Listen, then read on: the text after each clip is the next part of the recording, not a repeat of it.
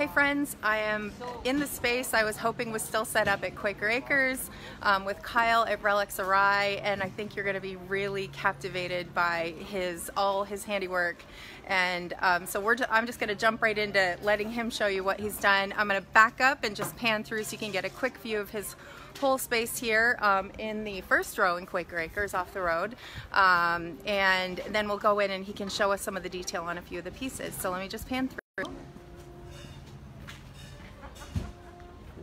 In a little bit.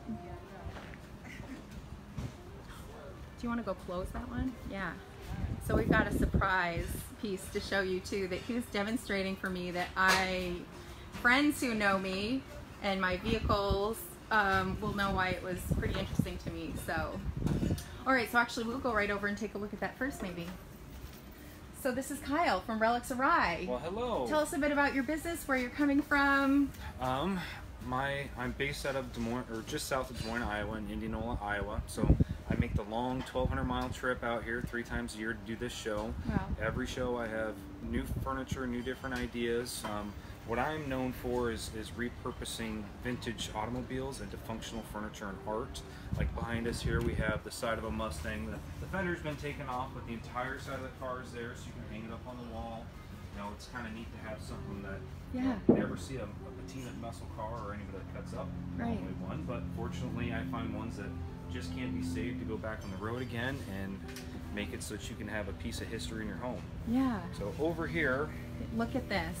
This is so great. It's a 60s Volkswagen bus. I was able to find it on a farm and it had just rotted away so bad that there was no no able way to actually put it on back on the road. So I took it and cut it off about 15 inches deep, um, paneled the back of it, add shelving to it. There's actually lighting in here so it displays real well when we don't have such a sunny day. Yeah. Um, got the tail lights working on it, and there's actually where the engine once once was in it.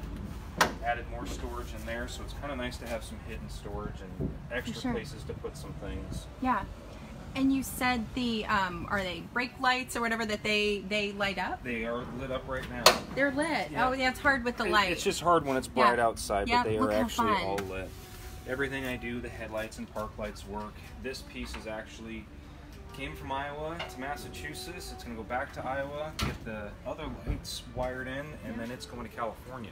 It's going in an ice cream shop out there. Oh, So- what a great piece for an ice cream shop too. How about the one behind you there, This the one Ford? here is the back end of about a 1950 Ford pickup. Okay. I always had the dream and idea of making a tailgate function differently than it was ever derived to do. So I cut it in half and turned it into doors. You know, good multifunctional piece. I can be a buffet, a dresser, a TV Oh, yeah. stand. I've done a couple of them as um, actually wet bar and dry bar, and done a bathroom vanity. Yeah. So it's just something that you can play with size and different things. Next show, I'm going to have a version like that that's actually going to be an outdoor cooler. So another piece to do, new design. That's great. Let's go to the one in the next row there Sure. next. Okay. Over here we have the front end of a 1968 Chevelle. Um, headlights are working on this. Unfortunately and unfortunately, the cars that I find, like I said, are just so bad you can't put them on the road. Yeah. Um, I know the gentleman that used to actually ride around the, in this car in high school with his buddy, and his buddy wrecked it, and then it sat in his junkyard for 30 years. And I was able to go in and save the front clip because it was too far gone for restoration and turn it into a piece that you can have at home now. What a story. And take a look at this. What a concept. Who would have ever thought? Like I don't I can't say I've seen anybody consider doing something like this with the front end of a car. Well, And the story behind it just makes it that much more Um, almost everything typically Fun. has a story as far as I can track it down and find one. Yeah. Um, but something like this Mustang, Yeah. unfortunately, there's not a real story, but okay. you know, the Just cool the character and the colors and the whole design around it. The taillights work in this, but it, I just started getting things unplugged. Yeah. But it actually shows that it, at one point in time, was at a community college in North Carolina. So that's kind of, it's interesting. Sometimes you find stickers on things where cars have been in one location and find their way to me in Iowa. I bought Right. a, a 57 Chevy that was on, um, and it, it had been on an Air Force base in Florida and found its way to Iowa made it into some pieces of furniture. Did a couple couches and a bar out of it. Like over here, I also do upholstered pieces. Oh, that piece too I had seen that I wanted you to showcase. I'm so glad you pointed it out. It Look at this. back of a 49 Ford. Um, real kind of iconic car for anybody that's into hot rodding or anything of that era. Yeah. So it's it's actual real leather that's on it. The one thing I don't do is the leather work. I do have to source out to have that done. Yeah. All the woodwork, metalwork, all the finding, buying, hauling, shipping is everything that I do. Look at that. And it's comfortable. It looks like it. The crazy part is it only weighs about 55 pounds. Really? Mm-hmm. Quite easy to pick up and move around.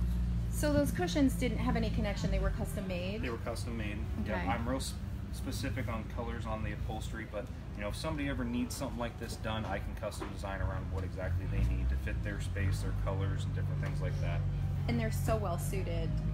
I mean, it's just they're lights are on again here, but these glass lights they just don't pop light out nearly as hard Right. as, as what a lot of the plastic lenses do. sure. But But, the lights lights turn on. do They, all turn the on. lights. Yeah. Mhm.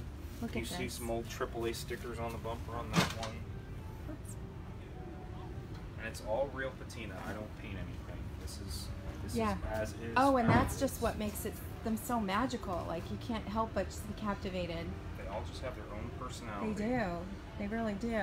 And then just tell me about this piece next next to it. This piece um, actually would have been rotated 180 degrees, Okay. and you would have hung it on your barn wall and put hay in it, and there was a little tray that went underneath of it for feeding your horses. Okay. I just love the look of it, and it's like there's got to be some ingenious way to use it, so Yeah. I bought it and turned it into you know it's about just the perfect height. It could be you know a little eat at table, or you could put a TV above it, Sure. or what I thought would be kind of neat if somebody really was into horses, they could put a picture of a horse in there behind it, or Oh, you know, come up with multiple different things to do. Right, right. The inspiration and the whole vibe. And let's just go maybe and look at that one last in behind. Here we have the front end to a 52 Ford pickup. 52 Ford pickup. Okay. I turned it into a This. desk. I'm gonna come around this side Sure. so we can get a good view. A desk.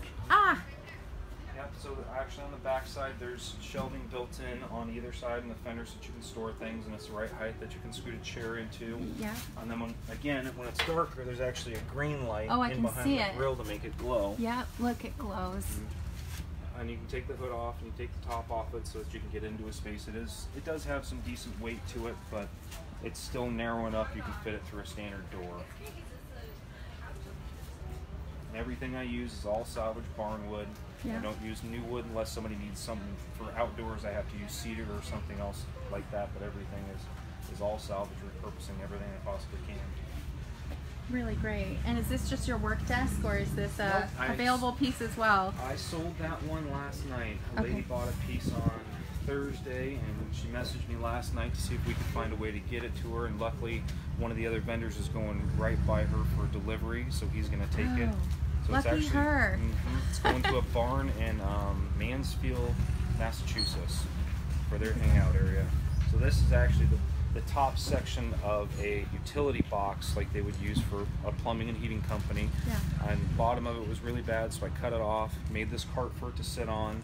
It too has puck lights in it, and there's actually shelving on the back side of it that is built in from when they built the util- utility box. Wow. But I do have the other side, so I can make another one. Yeah.